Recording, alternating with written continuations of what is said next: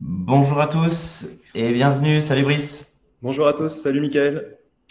Alors, on va laisser euh, tout le monde se loguer pour pouvoir démarrer ensuite euh, ce webinaire. Alors, ça va être un webinaire exceptionnel parce qu'on va parler de co-living. C'est la première fois qu'on fait un, un, webinaire et même une session de, de, manière générale sur cette thématique. Avant de débuter, j'espère que vous avez tous passé un bon week-end de Pâques. Pas mangé trop de chocolat, Brice?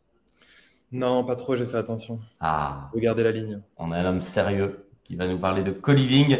Je vais vous présenter bien sûr euh, Brice. Est-ce que dans le chat, vous pouvez, ceux qui sont connectés, je vois le compteur monter donc tout va bien, ceux qui sont connectés, est-ce que vous pouvez nous dire si vous nous entendez bien et si vous nous voyez bien pour qu'on puisse ensuite débuter ensemble cette session?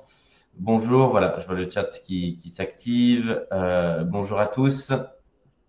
Euh, Co-living, je suis assez euh, excité de faire cette session parce que déjà ça fait un moment euh, qu'on voulait la faire. Bonjour Morgane, bonjour Lionel, euh, bonjour Carole, parfait, vous nous entendez bien, bonjour Laurent. Est-ce que vous pouvez nous mettre euh, également dans le chat? Bonjour Morgane, on vous entend très bien. Bonjour Doris. bonjour à tous. Est-ce que vous pouvez nous mettre dans le chat la ville depuis laquelle vous nous regardez ou vous nous écoutez? Pour qu'on puisse également avec grand plaisir, on a un, support présentation, mais surtout adapter euh, de la valeur, euh, vous donner un, maximum de valeur et adapter donc euh, bien évidemment en fonction du lieu géographique auquel vous vous situez. J'imagine, et vous avez raison que si vous êtes là, c'est que vous êtes intéressé pour faire du co-living. Alors bonjour Hélène, bonjour Laure, bonjour Marc, bonjour Thomas, bonjour. Alors on a bonjour à Marc de Nice, à Morgane de Toulouse, à Karim de Barcelone, à Thomas Boulogne-Billancourt, Lionel de Limoges, Doris, bonjour Doris du 78, bonjour Rodez de, Madrid, Florian Rodez, Arnaud de la Défense, 25e étage, c'est précis, mais tu dois avoir, tu dois avoir une vue sympa. Euh, on a France de Casablanca, Lille, euh, Montbéliard, Brésil, bravo Jefferson, bienvenue. Belgique, euh, Toulon. Euh, et ben écoutez, un, grand merci. On va pouvoir débuter cette session. Brice nous a rejoint récemment en directeur travaux. Peut-être avant qu'on démarre la session, est-ce que tu peux dire un, un, petit mot et te présenter, Brice, parce que je sais que ça va intéresser. Il nous a rejoint en tant que directeur travaux euh, France. Euh, il a fait plusieurs co-living. Il vient justement apporter toute son expertise au groupe investissement locatif. Est-ce que tu peux te présenter pour ceux qui nous regardent et qui ne te connaîtraient pas? Alors oui, bonjour euh, Brice. Euh, j'ai réalisé une quinzaine de co-living en Ile-de-France et en province avec investissement locatif et je suis du coup ravi de pouvoir partager mon expérience sur tous les aspects, aussi bien travaux que l'investissement avec vous sur le co-living. Donc on va vous montrer plusieurs exemples. Je vais vous dire un petit mot alors sur euh, sur moi, pour ceux qui nous découvrent, pardon pour ceux qui connaissent déjà, je m'appelle Michael Zonta. Vous voyez à, l'écran à ma gauche sur l'image et le slide Manuel Ravier. Euh, on a cofondé la société investissement locatif.com. Euh, on a la chance d'être serial entrepreneur. On a beaucoup investi. On a plus de 150 lots en France. et on a développé une expertise sur toute la thématique investissement immobilier rentable. Ça fait maintenant un petit peu plus de 10 ans qu'on a créé investissementlocatif.com. C'est plus de 200 collaborateurs, bah, dont Brice aujourd'hui, qui vous accompagnent pour réussir vos opérations en investissement immobilier. On a fait investir plus de 400 millions d'euros, on a fait plus de 2000 opérations. Donc tout ça pour vous dire euh, que vous ne serez pas cobaye si vous avez envie de faire une opération euh, investissement locatif. On a déjà euh, bah, très très bien rodé le, le, process pour vous accompagner dans des investissements rentables. On vous accompagne globalement sur la France entière puisque c'est plus de 20 implantations régionales que vous retrouvez ici à l'écran. Et donc, ça permet de mapper une grande partie du territoire de manière à accompagner nos clients qui souhaiteraient alors soit une zone, euh, ils ont déjà une préférence, soit vraiment on vous accompagne pour une, diversification de votre portefeuille immobilier de manière à ce que vous n'ayez pas euh, tous vos œufs dans le même panier.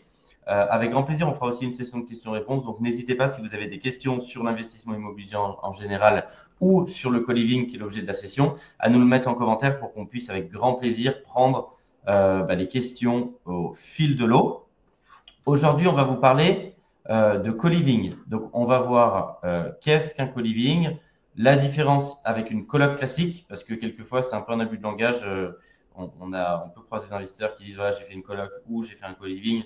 Et en fait, ils se mélangent un petit peu les pinceaux. Donc, on va vous donner un petit peu notre vision euh, du co-living et les grandes différences. On va étudier précisément un exemple euh, qui a déjà été effectué, donc la rentabilité d'un co-living, pour voir si ça vous intéresse, si vous vous retrouvez euh, dans ce type de projet. on va le voir, ça le vend en poupe, une très très grosse demande dessus. C'est aussi pour ça qu'on fait une, qu'on fait une session dessus. on va vous apprendre et vous montrer bah, comment est-ce qu'on monte un projet de co-living rentable. Et bien évidemment, pour tous ceux bah, qui n'ont pas forcément soit l'expertise, soit le temps euh, pour le faire. Et ben avec Brice, on serait très heureux de vous accompagner dans les différentes zones qu'on vous a montrées précédemment pour dresser votre co-living. Et vous allez voir, à la fin de la session, il y a des chances que ça vous donne envie parce que le projet qu'on va vous présenter, euh, franchement, si on avait eu ça quand on était étudiant, ça aurait été quand même pas mal. J'ai hâte qu'on vous présente, euh, que Brice vous présente ça. Et on va un peu lister les éléments à ne pas oublier pour son projet qui vont faire un avantage concurrentiel fort quand demain votre co-living sera diffusé euh, sur le marché locatif. Euh, bah, Brice, je veux bien que tu nous présentes un petit peu donc tout le co-living et puis euh, je, me permettrai de, prendre les questions au fil de l'eau si vous en avez pour que Brice puisse avec grand plaisir bah, vous livrer tout son savoir dessus. Il a fait beaucoup de, de co-living. On a vraiment la chance et de l'avoir dans le groupe et de l'avoir aujourd'hui parce que c'est vraiment plusieurs années d'expérience qui ont été dédiées sur plein de produits en investissement, mais notamment euh, au co-living. Et pour que ce soit réussi, euh, il faut avoir des experts en face. Donc, euh, juste pour te dire, très heureux que tu puisses nous présenter cette session. Oui, effectivement, Mickaël, on a, on a un vrai retour d'expérience sur le co-living partout en France, ce qui va nous permettre aujourd'hui de, vous expliquer comment le co-living fonctionne. Alors, en termes de définition, moi, je, qualifierais le co-living d'un habitat partagé haut de gamme entre 8 et 20 co-livers dans une maison ou dans un immeuble, le plus généralement dans une maison divisée, euh, ce co-living, il apporte service et confort. Euh, le service est représenté par la possibilité d'avoir des cours de sport, des cours de yoga et d'avoir dans la maison, dans l'immeuble, euh, une salle de sport, une salle de cinéma, un terrain de pétanque, un jardin, etc. etc. le confort, je dirais que ce serait plutôt d'avoir euh, une salle de bain par chambre, point très important, avoir des espaces partagés relativement grands euh, et d'avoir aussi un jardin, euh, puisque ça va, ça va valoriser le, bien. Voilà pour, pour la définition. Tu as la main aussi, tu veux que ce soit moi qui avance la slide ou sinon tu as la main sur oui, Je vais avancer. Ouais, Alors, à titre de comparaison avec, avec la colocation, que tout le monde connaît très bien, par exemple, en Ile-de-France, une chambre en co-living va se louer entre 800 et 1000 euros, alors qu'une chambre en colocation va se louer 600 euros. Ce sera peut-être 500 euh, euros en, province, mais il y a une différence de loyer de 20 à 30% ce qui est relativement énorme. Euh, donc le rapport locatif au mètre carré est forcément supérieur. Ça, c'est une évidence. Déjà, je sais qu'ils vont se poser la question par rapport à ce que, tu nous dis. Euh, moi, j'ai la réponse, mais c'est pour, euh, j'imagine que vous la posez ceux qui nous regardent. en un, qu'est-ce qui justifie la différence de prix? Et en deux, entre guillemets, est-ce qu'il y a un marché de gens qui sont prêts à payer plus cher pour ça? Oui, effectivement. Bah alors, euh, on revient à la définition du co-living. Pourquoi les loyers sont supérieurs Puisqu'on apporte un certain service et du confort? Euh, donc, euh, comme je le disais, hein, le service, c'est la petite salle de sport qu'on a dans, dans, le sous-sol qui est plutôt intéressante et qui permet justement d'attirer un certain type de population que l'on verra après, mais généralement, ce sont des jeunes actifs, un cadre CSP++, euh, ou euh, qui travaillent dans, des grandes boîtes, euh, ou des freelances. On a beaucoup de freelances aussi qui aiment bien cet habitat partagé, hein, ce style de vie, et qui sont prêts du coup à payer des loyers, des loyers supérieurs. Ouais, donc déjà, c'est ce que tu dis, c'est que c'est pas. alors peut-être que vous vous posez la question, mais je vais, je vais devancer exprès et, balayer large pour que ce soit le plus limpide pour tout le monde. Déjà, ce que tu dis, c'est que c'est pas forcément d'étudiants et c'est plutôt principalement du jeune actif étant donné les, les loyers ou, euh, ou même cadres en déplacement ou autres qui ont, qui ont tout le confort. Quoi. On a très peu d'étudiants, puisqu'effectivement, les loyers sont relativement conséquents, ça ne correspond pas à leur, à leur, demande. Ce sera plutôt des jeunes actifs. Euh, et puis d'ailleurs, des, des, personnes de tout âge. Hein. On va même avoir euh, des seniors d'ailleurs. Euh, on le verra plus tard, c'est un secteur d'avenir, mais globalement, très peu d'étudiants, effectivement. Ouais, ok. Alors, on va prendre, parce qu'il y a quelques questions. Je regarde si on les balaye ou pas dans la présentation en fonction de si je les prends tout de suite ou pas. Euh, Est-ce que tu aurais un ratio? On a une question de Hélène. Merci Hélène. Quel est le ratio idéal entre espace privatif et espace commun? Est-ce qu'il y a une, règle et une généralité dessus ou pas? Et quel est ton conseil? Tout à fait. Alors les ratios, euh, on aurait pu les voir dans un deuxième temps. On a au minimum, il faut au minimum, euh, donc c'est un élément indispensable. Hein, il faut au minimum 30% d'espace commun dans une maison de 300 mètres carrés par exemple. Euh, et ces espaces communs, c'est donc le salon, la cuisine, la salle à manger, mais aussi la salle de sport, euh, le, sauna, la salle de cinéma, etc. Donc le ratio de 30% est important.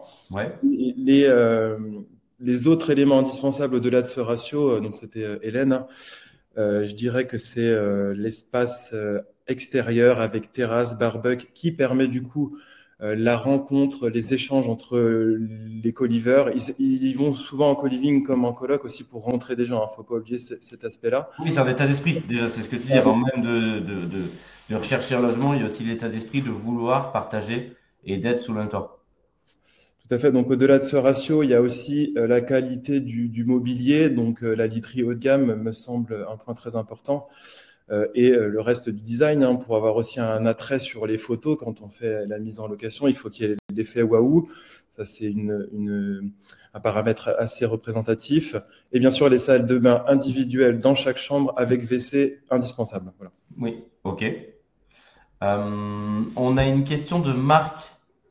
Alors, on, va voir après un exemple chiffré. Euh, Marc, je vais lire la question pour que tout le monde la, voit. Euh, rapport au mètre carré supérieur pour l'interrogation. Je questionne ce point car il est nécessaire d'acheter beaucoup plus de mètres carrés aussi. J'imagine pour avoir les espaces communs, c'est ce que voulait dire Marc. À Nice, par exemple, ça me paraît pas réalisable pour rester rentable vu le prix du mètre carré, non. Donc bon, à Nice, sans faire de, de grande généralité, hein, mais ça va être 4, 5, 6 000 euros par mètre carré, ça dépend où on est, euh, et où on est placé, la surface qu'on achète. Si on prend cet exemple-là, alors ça va être proportionnel de par rapport à, toutes les zones. Euh, bon, si on prend un exemple rentable, ça on donne un peu la, réponse à, la question, mais est-ce qu'il y a des zones, si on prend à, l'envers, est-ce qu'il y a des zones où le co-living euh, ne va pas être rentable parce qu'il faut acheter plus de mètres carrés pour les espaces communs et qu'on n'arrive pas à monétiser dans la rentabilité des espaces communs? Je pense, pense pas. Bon, effectivement, il se peut qu'il y ait des zones où, où, ça fonctionne pas, hein, comme tous les projets d'investissement locatif. Mais nous, par exemple, on a réussi à faire des co-living au cœur des centres-villes ou dans des, ou en première couronne, par exemple parisienne, comme Saint-Maur-des-Fossés, où le prix d'achat au mètre carré est, très élevé. Hein. on est à 9000 euros du mètre. Mais pour autant, on a réussi à louer les chambres euh, très chères. Donc, ça compense ce prix au mètre carré élevé ça compense largement même. Et on atteint, euh, on atteint quand même des rentabilités. Donc pour toi, pas de restriction parce qu'en fait, c'est proportionnel. C'est-à-dire que même si on achète cher, on va aussi le, louer plus cher. Euh, Exactement. Euh, derrière, et donc ça va, ça va donner des ratios. en plus, la ville que tu prends en exemple, Ibris, elle est plus chère en mètre carré que la ville de Nice. Donc pour répondre à votre question, Marc, oui, si ça s'applique ici, on, arrivera à maintenir une, une, très, bonne, une très bonne rentabilité.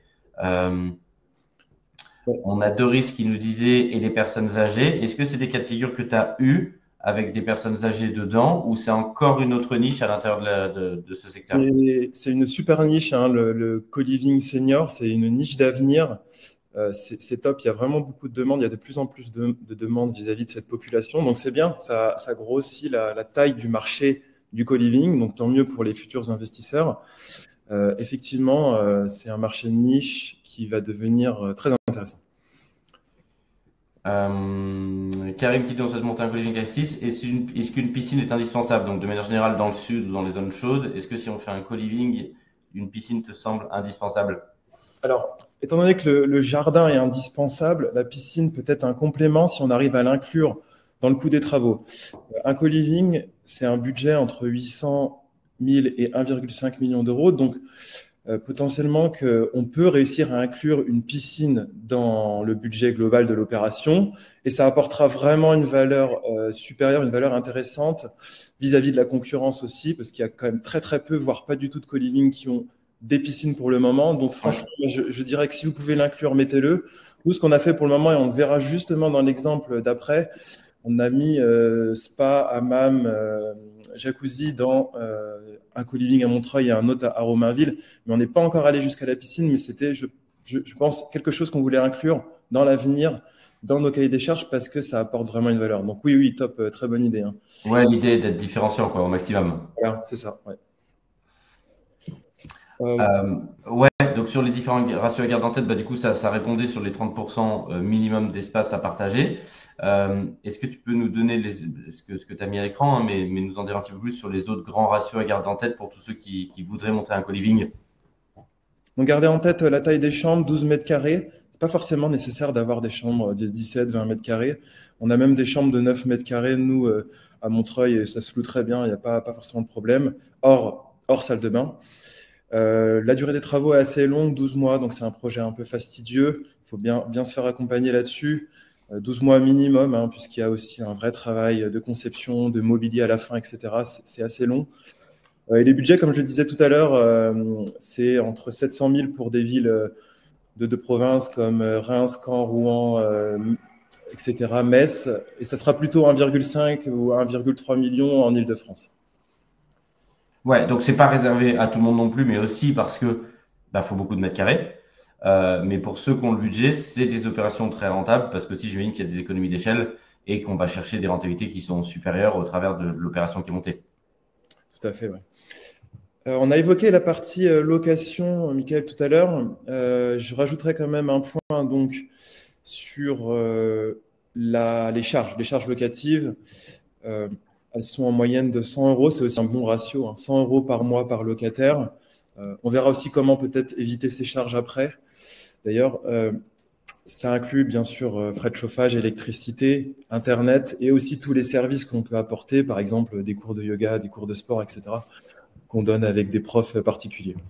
Ah oui, sur, euh, on a remarqué aussi, nous, euh, avec notre pôle gestion, que l'augmentation de la demande locative euh, est d'environ 10% par an.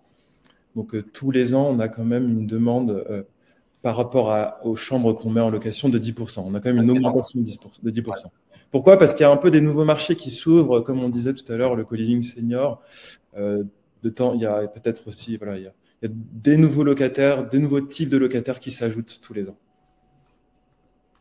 Ouais, donc on est sur un marché de, à la fois qui est initialement un marché de niche, mais qui est en forte croissance et sur laquelle il n'y a pas beaucoup d'offres, et c'est clair, hein, c'est le cas aujourd'hui, il y a beaucoup d'offres en colocation sur le marché, mais comme ça demande, bah, c'est un peu ce que, ce que, ce que j'essaie de vous donner en valeur et que je vous dis souvent, on est sur un marché immobilier de l'investissement qui se professionnalise énormément.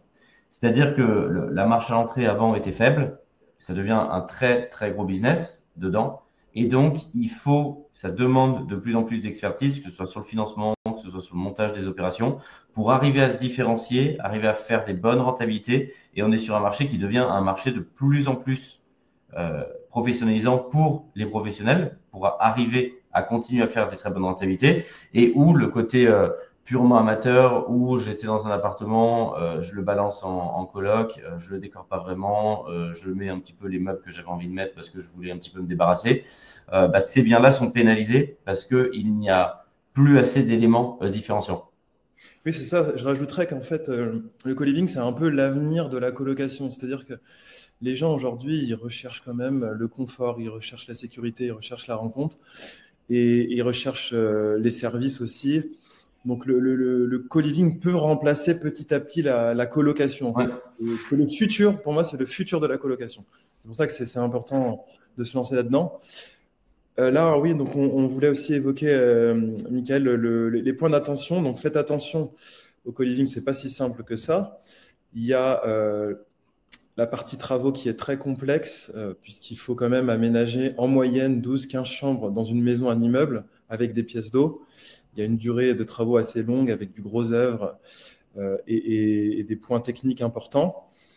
Euh, attention aux charges élevées de gestion locative et les charges euh, électricité chauffage. Oui. Qui font souvent baisser, qui font souvent euh, baisser euh, la renta brute versus net. Donc point d'attention. Et le financement, on l'a déjà évoqué hein, tout à l'heure, Michael, sur, sur les, les, budgets à 1,5 million, bah, c'est pas simple de se faire financer. En, ouais, il faut que vous ayez un, un apport. Il n'y aura pas d'apport 0%, euh, surtout pas dans la conjoncture actuelle. Il faut prévoir pour un résident fiscal français 10 à 15% d'apport. Et pour nos amis non résidents qui, qui nous regardent depuis l'étranger, il faut prévoir 20 à 30% d'apport du montant total de l'opération. J'ai envie de vous dire, c'est pas euh, le, le co-living hein, qui peut ça, c'est la conjoncture de, de, globalité aujourd'hui de, l'investissement immobilier, mais prévoyez ce type d'apport parce que sinon, il y, a, des chances assez importantes de, se diriger sinon vers un refus de financement. Oui, tout à fait. sur le co-living, bon, le, point important, hein, les avantages pour, pour conclure sur le co-living, c'est effectivement la rentabilité élevée hein, qu'on n'arrive pas forcément à avoir sur les immeubles de rapport. Quand c'est bien divisé, quand les travaux sont bien faits, c'est pas simple sur un immeuble ou sur une coloc d'avoir 9%. Bon, ça dépend. Euh, et le co-living de demain, c'est quoi? Donc là, j'ai pour moi deux, points, deux points importants. C'est cet aspect social, euh, partage euh, et le co-living senior qui est pour moi, qui est pour moi un point important. Ouais. L'éco-co-living, du coup, comment, comment on améliore l'éco-living? Comment on fait baisser les charges? L'éco-co-living, donc c'est une construction bah, écologique, RE 2020, donc, euh, ou une maison passive qui consomme quasiment zéro. Donc pour moi, c'est ça hein, le, point le plus important, réussir à faire euh, une, maison très peu consommatrice. Et pourquoi pas y ajouter des espaces verts avec le potager partagé, production locale de, de fruits et légumes, euh, voilà, pour, pour avoir ce côté un peu écologique que les locataires recherchent de plus en plus.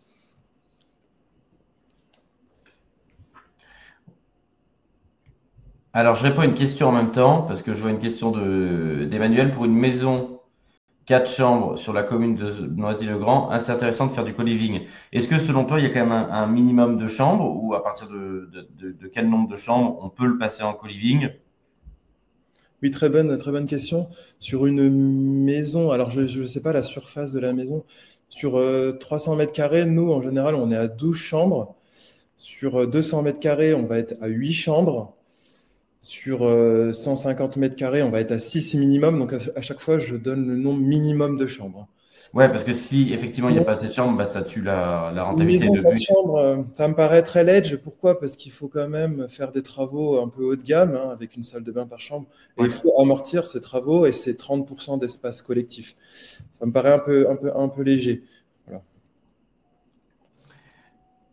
L'exemple, il y a, a peut-être d'autres questions. Euh, euh, c'est quoi la on a, on a, une question. Quelle est la renta moyenne? Bon, On va vous montrer un exemple ici. Euh, c'est quoi la renta moyenne que peut attendre un, client en investissement locatif qui souhaite investir en co-living?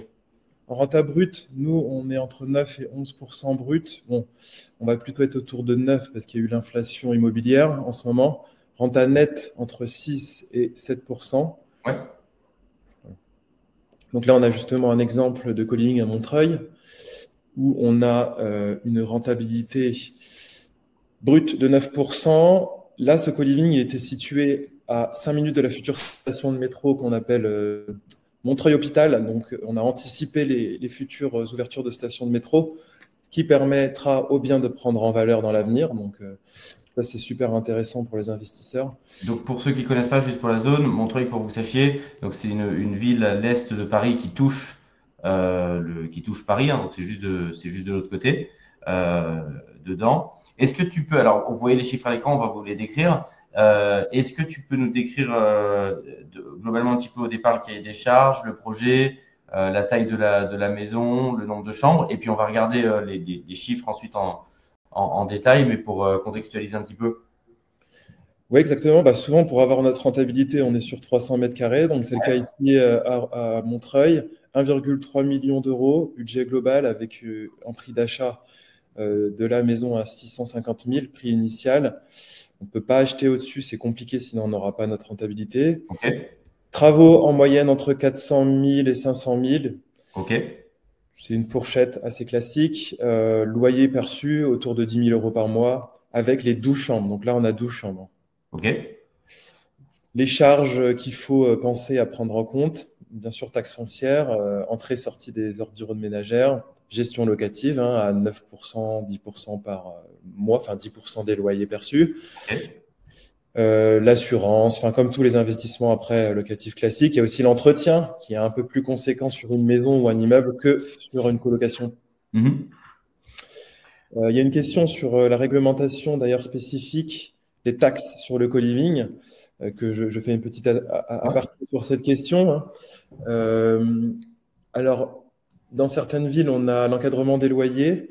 Bon, pour ça, on a quand même mis en place, nous, des, baux spécifiques. pour réussir à intégrer cet encadrement des loyers. sinon, les taxes, il n'y a aucune taxe spécifique. C'est vous, louez une, enfin, c'est une maison classique. À part votre taxe foncière, il n'y a, rien d'autre. D'ailleurs, c'est un des avantages du, du co-living en termes d'administratif. Vous n'avez pas de division à faire, pas de demande spécifique en mairie. Donc ça, c'est top. Ça, ça, ça, permet de dérouler le projet plus rapidement. Ouais, ça, ça permet déjà de maîtriser bah, l'intégralité et de ne pas avoir de variables au, au, milieu de, au milieu de votre projet. Quoi. Aucune variable ouais, qui, qui, peut. Donc là, ouais, c'est l'exemple, c'est bien parce qu'il illustre bien. On a 9% en brut, on a 7,7% en net, donc entre guillemets, bah, net de tout. Hein. On, a, on a tout enlevé euh, pour être euh, parfaitement euh, pour être en transparent net. sur les sur les frais. C'est net avant impôt, ouais, effectivement. Ouais, net avant impôt, en sachant que bah, soit vous achetez et vous exploitez au LMNP, donc ça va bah, vous faire environ 10 ans sans impôt, soit c'est détenu à l'intérieur d'une société civile immobilière, de préférence, sauf cas particulier et choix fiscal, mais à l'IS, ce qui fait que vous allez repousser énormément euh, l'imposition derrière. Euh, on, on, va voir un petit peu du coup à quoi ça ressemble à la fois sur les plans et ensuite dans la réalité post-travaux. Donc là, on a le, le co-living de Montreuil, on verra les photos après. On a un étage pour les espaces communs. Donc euh, comme ça, euh, les chambres sont au calme aux espaces supérieurs, donc ouais. très important, avec euh, en haut à droite en vert un espace de coworking puisqu'il y a beaucoup de freelance, comme je le disais tout à l'heure, donc on prévoit souvent euh, des petits bureaux euh, individuels. Et après, le reste classique, hein, salon, salle à manger, cuisine. Là, on a quasiment 80 mètres carrés hein, dans, dans, cet, dans cet étage. Hein. Ouais, donc c'est beau. Il y a... Oh, est-ce qu'on peut revenir juste dessus? C'est beau, vous avez donc dans la partie supérieure gauche bah, tout un espace euh, salle à manger, hein, c'est ça? Oui, salle à manger avec 12 places. Ouais, donc là, ça fait un très bel espace, euh, très bel espace commun. Euh, grande cuisine, bon, vous allez voir après des photos, mais c'est déjà pour ceux qui sont un peu moins habitués au, au, plan. Donc en bas à gauche, toute la partie, euh, une partie cuisine, où, bah, pareil, un petit peu en, en bar tabouret, on peut manger, pas mal de rangements. Euh, deux éviers, c'est ça? Je vois sur la partie de gauche. Il y a un îlot central et systématiquement dans les cuisines, on met deux fours, deux, deux éviers, deux hottes, deux etc. Deux micro-ondes, enfin on double tout, deux frigos, enfin deux, trois frigos même pour, pour 12 personnes. Ouais, grand salon et c'est top, hein, espace de coworking. Ouais. Où tu le dis, ouais, pour qu'ils aient tous un coin bureau ou autre, qu'ils puissent tourner, ou ceux qui sont un peu freelance, c'est pas forcément ah, besoin d'aller dans un coworking et puissent se poser pour, pour travailler ici, quoi. Ouais. Et WC collectif toujours aussi. Il faut qu'il y ait un WC pour les invités, en fait. Ça, c'est systématique. Oui. Non, les gens sont obligés d'aller dans les chambres pour aller au WC. Euh, je vais passer à l'étage classique, un étage de chambre, donc au calme, à l'étage supérieur, avec leur salle de bain individuelle. Donc, vous pouvez voir qu'il y a cinq chambres et chaque chambre a sa salle de bain avec WC. C'est des petites, euh, petites salles de bain ouvertes sur la chambre. Euh, pas, besoin de faire plus, hein, ça suffit. Hein. Il y a deux mètres carrés en général. Il y a aussi à cet étage un espace sauna hammam qu'on verra en photo après. Donc là, il n'y a pas la piscine, mais il y a quand même le, spa. Quoi. Ouais, et salle de bain privative à chaque fois. Tout à fait, toujours, ouais. toujours obligatoire. Là, c'est plutôt un exemple type de, de sous-sol. Souvent, dans les co-living, on profite du sous-sol ou dans les maisons pour aménager des salles de sport, puisqu'on n'a pas de, de, de, contraintes ou de règles avec euh, les hauteurs sous plafond. Ouais. Donc, on peut faire euh, une salle de sport, même si on a deux mètres de hauteur sous plafond. Même si c'est pas lumineux, même s'il n'y a pas de fenêtre, il faut en profiter pour faire les espaces de service. Mm. Euh, parce que vous ne pourrez pas faire de chambre dans un sous-sol, vous n'aurez pas le droit. En revanche, profitez-en pour mettre euh, voilà, le, un bar, une salle de. de... Parfois, on fait souvent euh, aussi le, la salle de gaming ou de, de jeux vidéo, euh, de soirée où on met les amplis pour qu'ils puissent faire des, des, des, fêtes. Tout ça, ça sera au sous-sol où il n'y a pas de fenêtre. Ouais. Et là, donc, baby foot, salle de sport, salle de ciné? Salle de ciné, salle de ping-pong. la salle de ciné, je n'ai pas le plan, hein, mais on va la voir après dans les photos. Ouais. Mais en général, ouais, cinéma, cinéma dans les sous-sols, c'est parfait. Vous n'avez pas besoin de, fenêtres. Donc, il euh, faut optimiser ces espaces hein, euh, en, en, espace collectif. Donc voilà les photos. Donc je vais, je vais passer les photos assez, assez brièvement. Là, c'est l'espace commun salon qu'on a vu tout à l'heure sur les plans. Ouais. Là, on a la cuisine avec l'îlot central. Alors, la cuisine, elle est à droite. Hein. On, on, a, on, va la voir. Et après. tu mets deux plaques, ouais, deux plaques de haute pour qu'ils euh, qu puissent euh, tous cuisiner en même temps. Quoi. Bah, quand tu as 12 personnes, c'est obligatoire. Même au-delà de 8 personnes, on, double tous les équipements systématiquement parce qu'il faut utiliser euh, deux fours, deux, plaques. Donc là, la partie grande cuisine. La cuisine. Euh, là, en sous-sol, ce qu'on voyait sur les plans, le petit baby-foot, le petit, petit, espace commun. Ouais. Bon, là, pour le coup, on a un sous-sol assez éclairé, mais ce n'est pas toujours le cas. Le fameux cinéma. Sympa. Hein. plutôt sympa. Ça, ça marche bien sur les photos. Ouais. On l'utilise, c'est plutôt, c'est plutôt cool. Donc, celle, ouais, celle de ciné avec le vidéoprojecteur. Là, tu as toute la partie Sona Hammam, c'est ça? Ouais, Sona Hammam. D'ailleurs, euh, sur le, la salle de cinéma, euh, systématiquement, effectivement, on propose euh, l'intégralité des services Netflix et, oui, tous les abonnements pour tous les abonnements classiques, un hein, full, full abonnement parce que ça leur permet d'en profiter gratuitement. Euh, la, la, salle de bain individuelle, avec des décos assez classiques. Hein. Ouais, mais c'est bien, c'est sympa. Ça marche très bien. Ouais, ça marche bien. Là, c'est la salle de sport, mais qui a été faite dans un garage. Ouais classique, hein. ça suffit hein, de mettre. Nous, en général, on met 3-4 équipements et ça fonctionne bien. On, voilà, pas besoin de plus. Là, en général, en moyenne, sur, euh, sur les équipements comme ça, on est à 3-4 000 euros de mobilier. Et sur un co-living, on est plutôt au total, le mobilier en général autour de 50 000 euros. Sur un co-living, 12 personnes. Oui. Il ne faut pas hésiter à charger en termes de mobilier, ça s'amortit vite et ça permet vraiment de faire la différence en termes de loyer. Alors, on avait quelques. On Ah oui, pardon, vas-y, non, fini photo. on, peut faire... on peut répondre aux questions. Hein. Ouais, alors il y avait des questions sur toute la partie euh, les baux, euh, baux encadrement des loyers. Donc, les baux, vous allez pouvoir contractualiser euh, bah, un bail par, par personne qui est dans le co-living. Donc, de, ça va vous permettre d'individualiser parce qu'il ne va pas falloir qu'ils soient tous euh, tous liés et que vous puissiez comme ça le faire chambre par chambre euh, de manière générale. Euh, quand il y a l'encadrement des, loyers, on va respecter l'encadrement des loyers, mettre un forfait de charge et pour pouvoir déplafonner légalement l'encadrement des loyers, bah là, ça s'y prête énormément puisque le législateur a laissé la possibilité de contractualiser ce qu'on appelle un complément de loyer s'il y a des prestations de confort. Donc là, ça coule de source. On va venir contractualiser et monétiser l'ensemble des différents services. Donc, ça va être bien évidemment les, espaces communs comme salle de cinéma qui sont des prestations bah, forcément de, confort, hein, baby-foot, donc toute la partie du mobilier qui est en plus, les différents services euh, que vous avez. Ça va faire la transition. Je voyais qu'il y avait euh, Hélène qui pose la question qui, euh, du nettoyage, combien de fois par semaine? Donc, si à l'intérieur, bah, il y a des prestations de ménage, on va venir monétiser l'intégralité de ces prestations pour arriver légalement. Alors, respecte encore une fois l'encadrement des loyers, mais ajouter un complément de loyer qui va faire qu'on va tirer la rentabilité euh, vers le haut. Euh, on a des questions pour toi, Brice. Euh, Quid justement du nettoyage? Le nettoyage, on fait maximum deux fois par semaine pour l'intégralité des parties communes. Il faut compter 23-26 euros de l'heure et il faut compter entre 4 et, et 8 euros, entre 4 pardon, et 8 heures par semaine de ménage. Euh, pas de ménage dans les chambres individuelles. C'est pas nécessaire, ça fait des charges trop élevées après pour euh, l'investisseur. Et les locataires sont pas forcément demandeurs qu'on nettoie leur chambre. Donc uniquement les parties communes, entre 6 et 8 heures par semaine maximum. Hein. Vraiment, ça, c'est un nettoyage haut de, gamme hein, déjà. Ouais, ça, c'est notre conseil parce que déjà, ne touchez pas forcément aux parties privatives. Il peut y avoir des, questions de sécurité, de, vol, ça peut créer des conflits euh, dedans. Donc, donner accès que, en tout cas, c'est notre conseil, aux parties communes pour qu'elles soient euh, ici nettoyées. Un des avantages, je sais qu'il y a certains investisseurs qui aiment bien, c'est ça permet aussi du coup d'avoir une visibilité sur le bien qui est loué, être sûr que tout va bien, que ça se dégrade pas ou autre. Donc, ça vous permet aussi à ce stade bah, de vérifier euh, que tout se passe euh, plutôt bien à l'intérieur.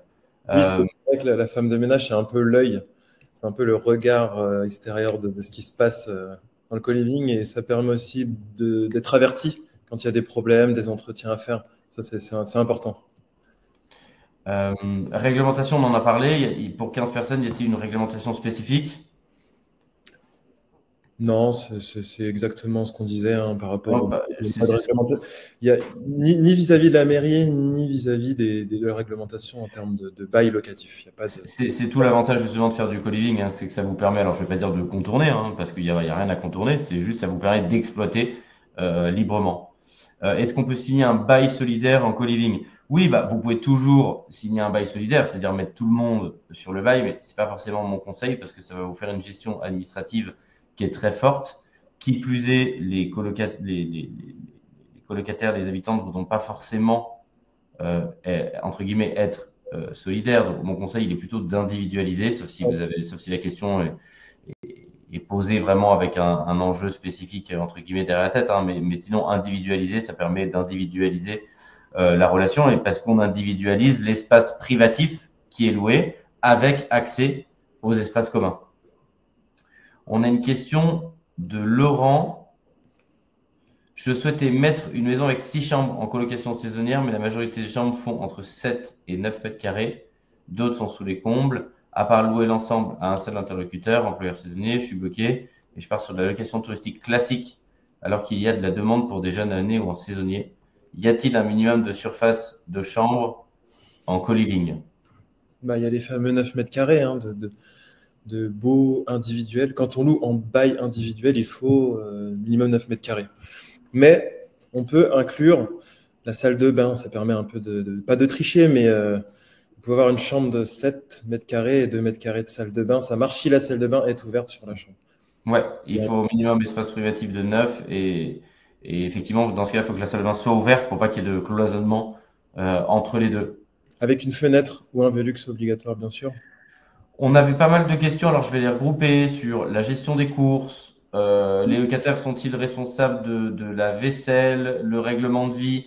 Euh, Je pense que ça regroupe un petit peu. Est-ce que tu euh, préconises de faire un règlement intérieur ou pas? Ou comment est-ce que le, alors, le retour d'expérience, effectivement, souvent ce qu'on met en place, c'est sur les 10, colocataires, sur les 10 co-livers, il y aura une personne qui sera un peu qui sera chargé de représenter les autres, qui sera responsable du co-living et qui, lui, mettra en place une organisation vis-à-vis de euh, ceux qui feront les courses, enfin le, planning pour les courses.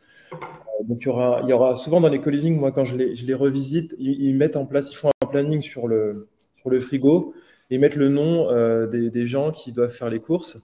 Donc, ils s'organisent entre eux vis-à-vis de cette personne qui est responsable, en fait. Enfin, oui. Il y a quand même quelqu'un qui lead un peu le, projet et en, plus, on ne paye pas 9% euh, de gestion locative pour rien. Il faut qu'il y ait aussi quand même, le gestionnaire aussi s'implique un peu dans, dans, cette organisation au quotidien des courses et, euh, et de, et de l'entretien, etc. Voilà.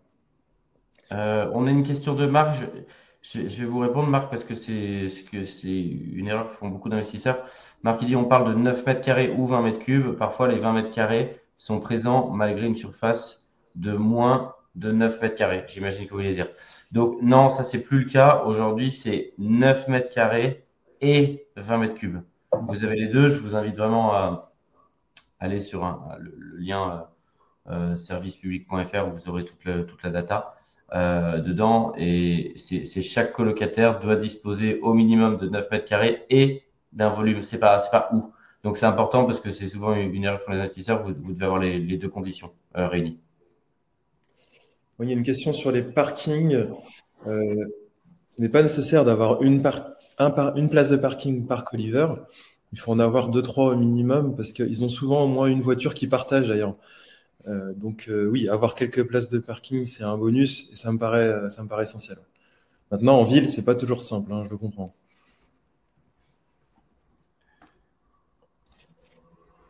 je vous remets un descriptif à l'écran. Pour tous ceux qui sont intéressés, bon, alors, de manière générale, pour investir dans l'immobilier et plus précisément sur la thématique aujourd'hui d'investir euh, dans un calling, euh, grâce à investissementlocatif.com, on va s'occuper de vous sourcer une opportunité qui est décotée par rapport au mètre carré. Et si bien évidemment vous voulez faire un co-living, bah, on va s'occuper de ça pour vous, de vérifier que le prix au mètre carré est décoté, de vérifier qu'on peut faire un nombre de chambres qui est suffisant euh, pour pouvoir l'exploiter. On va vous accompagner pour toute la partie financement de l'opération. Il y a une grosse partie travaux et Brice qui dirige ce, pôle-là bah, mettra son expertise à profit sur votre projet pour que l'exploitation finale se passe comme vous venez de le voir en photo avec une salle de bain individualisée, des espaces communs bah, qui donnent envie, de manière à ce qu'on arrive à bien évidemment doper euh, cette rentabilité. Et ensuite, on s'occupe pour tous ceux qui le souhaitent et qui n'ont pas envie euh, de le gérer, de toute la partie marketing du bien, c'est-à-dire location euh, et gestion derrière de l'ensemble de l'opération. Et on vous a gardé une opportunité à Romainville. Est-ce que tu peux nous la présenter, Brice Ça, c'est un, co-living qui est entièrement loué en fait. Donc c'est un projet extrêmement simple avec une rentabilité de 7%. Donc la rentabilité est moyenne, mais euh, on bénéficie tout de suite des loyers, aucun risque. Donc effectivement, les travaux sont déjà effectués. On va voir quelques photos après dans un deuxième temps de, ce co-living. Il est situé euh, pareil à 5, 5 minutes euh, à pied du, du, métro. Donc en termes de localisation, on est top. Euh, et justement, euh, Michael, il y a quelques photos. Donc ça, c'est la maison euh, avec 12 chambres aussi. il y a un, feedback, donc les loyers sont payés depuis trois ans, il n'y a aucun loyer impayé, donc ça c'est top. On a c'est beau. espace collectif rénové entièrement, c'est super joli. Espace extérieur, les fameuses, euh, les fameuses terrasses. Il y a d'ailleurs un jacuzzi au fond là qu'on voit pas, qui a été rajouté après. Espace commun, voilà, euh, Pour, ce co-living euh, en vente est disponible. si vous voulez en savoir plus sur ce projet, bah, vous pouvez Ici, je vais vous le mettre à l'écran. Scannez le QR code qui est ici. Si vous souhaitez euh, bah, tout simplement, sinon ensuite investir ou investir euh, dans un co-living, que ce soit sur cette opération ou un autre, je vous invite à prendre rendez-vous avec l'équipe en cliquant euh, sur le bouton pour que vous ayez la possibilité de pouvoir le faire parce que ça permet vraiment de doper bah, les rentabilités, à la fois comme vous l'avez vu dans l'exemple et à la fois comme vous le voyez juste ici à l'écran c'est aussi la possibilité bah, d'arriver, pour ceux qui cherchent à investir dans des zones où quelquefois ils ne trouvent pas la rentabilité, à structurer une opération dans un produit d'avenir sur lequel il y a beaucoup de demandes et beaucoup de croissance. Je pense qu'on est vraiment au tout, tout, tout début du co-living. C'est aussi pour ça qu'on a voulu faire ce webinaire et mettre ce type de projet en avant, parce que ça le vend en poupe, ça va permettre demain de répondre à une vraie demande euh, qui est croissante euh, et donc bah, de pouvoir créer de l'offre pour pouvoir accueillir tout simplement euh, cette demande. Euh, on va prendre les, dernières questions que je vois passer. Euh, Thomas, est-ce plus cher ou moins cher que de louer un studio individuel? Alors Thomas, peut-être que vous nous avez rejoint en cours de, conférence, mais on, l'a dit juste avant, l'intérêt est justement d'aller chercher des rentabilités supplémentaires. Et donc, on le loue bah, plus cher qu'un studio moyen, mais parce que tout simplement, il y a plus de services dedans. Quel est le loyer? Question de Younes. Quel est, bonjour Younes, quel est le loyer par Coliver dans ce projet à Montreuil euh, dedans? Le loyer, euh, il est entre 800 et 950 euros en fonction de la taille de la chambre ou de la, qualité de la chambre. Donc euh, la chambre qui est, qui est le moins, la moins confortable sera à 800 et la, et la plus confort, la plus grande sera à 950 euros. on a une autre question de Thomas. Est-ce que tu peux nous dire ton retour d'expérience sur la partie turnover? Vacances locatives, bon là le projet euh, que tu as présenté à, la vente est plein et fonctionne euh, très bien, mais de manière générale, bah, sur ce projet-là ou d'autres, est-ce qu'on constate des taux plus élevés ou au contraire moins élevés parce qu'on est sur du jeune actif et pas des Vacances locatives, il y a très peu de vacances locatives. Le plus dur, c'est de remplir les 8, 10, 12 chambres au début. Oui, quand ça arrive d'un coup. toujours un mois de préavis pour trouver un nouveau locataire. Donc, on a quand même un mois pour trouver un nouveau coliver. Ce qui fait qu'il y a très très peu de vacances locatives. C'est plutôt une question de gestionnaire. Si le gestionnaire est réactif, qu'il est bon et qui, euh, se booste bien, il n'y aura pas, de, de trou de vacances locatives. Après, les locataires restent en général un peu plus d'un an. Donc nous, on est sur une moyenne de 18 mois, très exactement, euh, vis-à-vis de, des 15 co-living qu'on a en gestion. Euh, on est sur 18 mois. Voilà, ça c'est une moyenne. je vois une question. Est-ce que tu peux nous redire, le, je, crois, que tu as peut-être répondu tout à l'heure, mais on va le redire. Bonjour Hélène, question de Hélène. Budget, aménagement, équipement à prévoir euh, Le, euh, le mobilier. Donc le mobilier, j'ai inclus aménagement, décoration, mobilier, etc. pour une maison de 12 chambres, on est à 50 000 euros, 50, 60 000 euros. Donc peut-être que pour 8-10 chambres, on sera autour de 40 000 euros en ratio. Voilà. Alors ensuite, il y avait budget travaux. Non, c'était tout que aménagement? Euh, non, j'ai vu aménagement. Travaux, on l'a mis dans la presse entre 1200 1300 euros TTC par mètre carré. Ah, 1250 euros. En, fonction des aménagements extérieurs, euh, la reprise de la façade, euh, la reprise de la toiture. Donc, c'est voilà, 1250 euros du mètre minimum.